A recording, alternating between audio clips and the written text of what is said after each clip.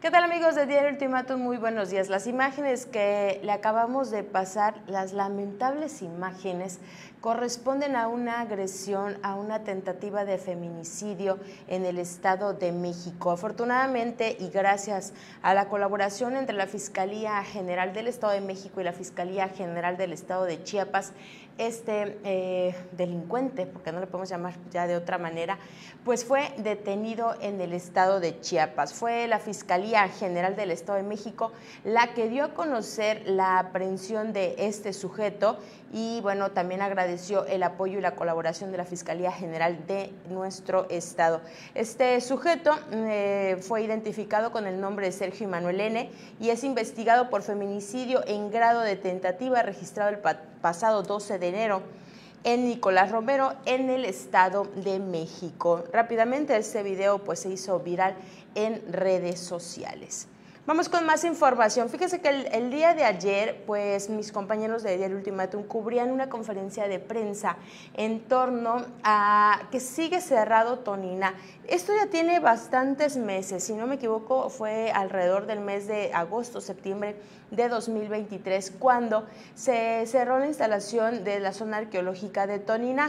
Bueno, han sido estires, aflojes por parte de los dueños de donde se encuentra esta zona arqueológica y bueno, el día de ayer el propietario de una conferencia de prensa en donde pues eh, lamentó que las autoridades no hayan atendido todavía la situación. Se trata de José Alfonso Cruz Esponda, propietario de este terreno con el acceso a la zona arqueológica, quien argumenta que existía un convenio con la dependencia federal, es decir, con el INA, para el pago de uso de suelo en el ingreso de la localidad, pero que desde hace varios meses se suspendió el pago correspondiente. Veamos qué dice el propietario de este acceso a la zona arqueológica de Tonina. Este, pues nosotros pedimos ahí al, señor presidente Andrés Manuel López Obrador que, tome cartas en el asunto, porque ya llevamos cinco meses cerrados y este, es una economía del municipio, del estado y las gentes que vienen viajando se molestan porque está cerrado. Pero la verdad este, necesitamos ahí que el antropólogo Diego Prieto hable con el INDAVI y por qué evalúan mal los terrenos de, mi propiedad, porque ya ha habido unas compras anteriores del 2010 y el 2012 y son muy diferentes los avalúos. Entonces pedimos al señor presidente que nos ayude pues a resolver este problema. ¿Cuál es el avalúo actual? El avalúo actual... El que está generando este, este, problema. El monto no, no, no sé. Nomás me mandan las calificaciones de, los puntos que me van a calificar. ¿Y cómo lo calificaron? Lo calificaron como agostadero. ¿Qué es eso? Agostaderos como, como potreros, pues. Entonces nosotros nos, interesa que nos califiquen bien. ¿Cómo para, que entendamos, entonces el terreno lo rentan, se paga por parte del gobierno federal o cómo? No, sí se paga, es una indemnización. De hecho ellos me, dicen que me, van a, pagar este, por medio de, del, del, ingreso que entra de lo que están cobrando. Oiga, hemos estado platicando durante toda la semana en torno a las nuevas restricciones a la reinstalación de filtros sanitarios y estas medidas sanitarias porque tenemos una alza en, enfermedades respiratorias. Al respecto, mi compañero Alfonso Salazar pues se dio esta mañana un recorrido por una de las instituciones en la que ya es obligatorio el uso de cubrebocas. Alfonso, muy buenos días, cuéntanos al respecto. Muy buenos días. Pues como bien comentas, una de estas instituciones educativas que ya tiene estas restricciones, principalmente para los alumnos, exigiéndoles el uso del cubrebocas para poder ingresar y está al interior de la misma es la Escuela Primaria Club de Leones, que se ubica sobre la novena norte y primero oriente de esta ciudad capital. Esta medida es como, también ya comentaste sobre la alza de enfermedades respiratorias de la temporada. Eh, fue eh, un consenso entre los directivos de la escuela y el comité de padres de familia quienes decidieron que se tomara esta decisión sobre el alumnado y fue que a partir de este martes, ayer, eh, los alumnos comenzaron ya a ingresar a, pues, a la escuela con el respectivo cubrebocas, lo deben portar también durante las clases y las diferentes actividades que realicen durante eh, su horario escolar. Oye, Alfonso, eh, ¿cuántas escuelas ya en Tuxtla Gutiérrez eh, tendremos como con esta restricción? El CEBECH está entre una de ellas, tengo entendido también, creo que por ahí la secundaria del Estado también estaba analizando si regresaron a las restricciones. ¿Hay algún estimado o, eh, bueno, hay una instrucción ya por parte ¿no? de las autoridades de que sí se les pida? Eh, un estimado exactamente de cuántas instituciones, no, como bien comentaste, la Escuela Secundaria del Estado, CEDECH, tengo entendido que la Escuela Primaria Gustavo Díaz Ordaz, eh, una telesecundaria que se encuentra en la colonia este, Albania Alta, y la Club Leones son las que eh, eh, tengo información de que se están exigiendo el cubrebocas. De la Secretaría de Educación todavía no hay un comunicado como tal donde pues, les a las instituciones que los alumnos y el personal ingresen con cubrebocas. Sí hay un comunicado donde el personal administrativo de la Secretaría de Educación sí tiene que ingresar pues, a sus oficinas con el respectivo cubrebocas.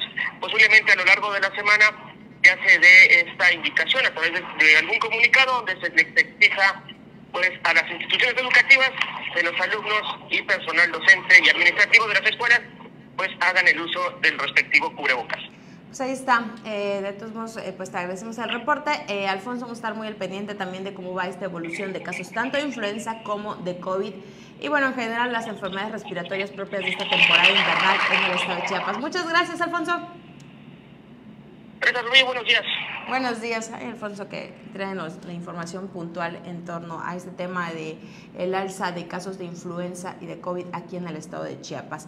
Mire, vamos a más información. Por segundo día consecutivo continúa manifestándose el personal a las afueras de la Secretaría de Educación por la falta de pago del bono de bienestar.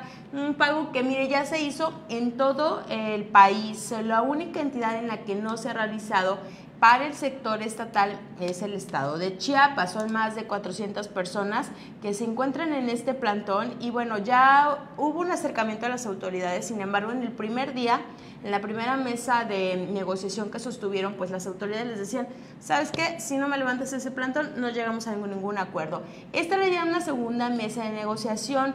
Entonces, como ya hubo un incumplimiento por parte de las autoridades, pues eh, los profesores aseguraron que no van a levantar el plantón hasta que se cumpla pues el pago del bono de bienestar que les debió caer desde el mes de noviembre. ¿Qué pasó el día de ayer? Resulta que eh, pues había pagos que iba a realizar la Secretaría de Educación también para eh, eh, profesores interinos. Pues entonces la Secretaría de Educación les dijo a los interinos que como estaba tomada la instalación, no les iba a pagar. Entonces, pues hizo ahí un choque entre las dos partes, entre el personal administrativo que esperan el bono del bienestar y los eh, maestros interinos que también, mire, ya les surge cobrar, son varios años eh, los que tienen ellos atrasados y además los cheques pues tienen un- una caducidad. Entonces, imagínense la preocupación que tienen porque no hay nadie que se haga cargo para solucionar este problema y no hay que demeritar ninguna de las problemáticas. Los administrativos tienen la razón, pero también el personal eh, docente interino que también requiere con urgencia su pago. Vamos con más información. Mira, el precio del kilo de la tortilla están estimando que pueda tener un incremento durante este 2024. Eh, mi compañero Alfonso fue a entrevistar uno de los líderes de la masa y la tortilla en Tuxtla Gutiérrez, quien además señaló que en estas zonas en donde persisten los problemas con el crimen organizado, pues obviamente hay un incremento eh, considerable de este producto, debido a que, pues eh, para la gente que se dedica a este negocio, pues se ha visto en complicaciones para poder tener la materia prima, los insumos para poder, pues entregar y que usted disfrute su tortilla calientita en su hogar. Es por eso que en estas zonas, eh, estos problemas sociales que persisten, pues son los que están obligando para que el precio de la tortilla vaya a la, a la- a la alza.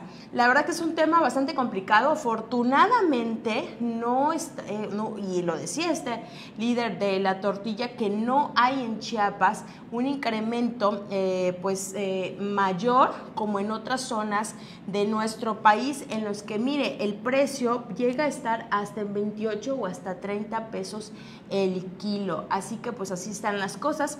Eh, estamos muy al pendientes también en torno a estos incrementos que tienen los productos de la canasta básica. La cuesta de enero está pegando bastante fuerte al bolsillo de los chiapanecos.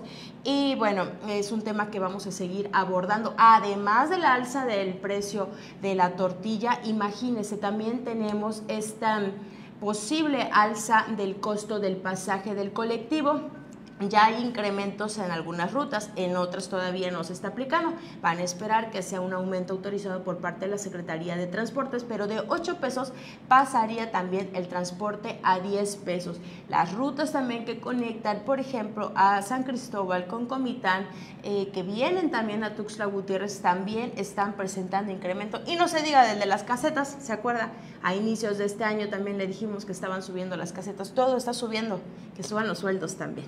Bueno, vamos llegando ya al final de este espacio informativo. Tenemos por ahí el mapa de Proceda.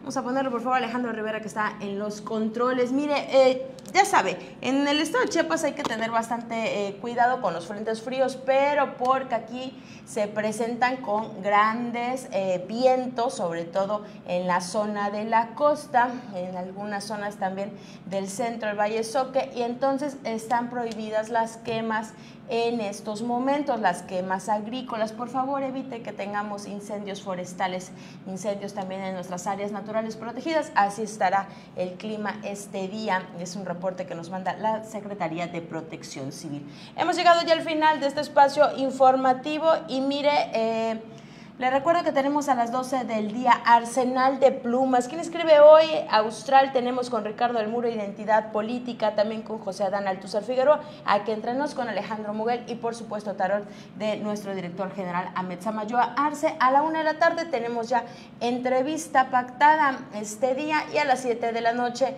la segunda emisión de este espacio informativo a cargo de mi compañero Ramiro Trejo con toda la información puntual de lo que ha acontecido, lo que va a acontecer este miércoles miércoles en Tuxtla Gutiérrez y en todo el estado de Chiapas. Que tenga un excelente día, disfrute mucho este miércoles.